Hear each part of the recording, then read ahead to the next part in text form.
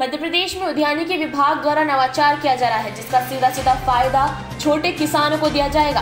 दरअसल, इस मामले में उद्यानिकी खाद्य प्रसंस्करण राज्य मंत्री भारत सिंह कुशवाहा ने विभागीय समीक्षा बैठक के अधिकारियों को सख्त निर्देश भी दिए।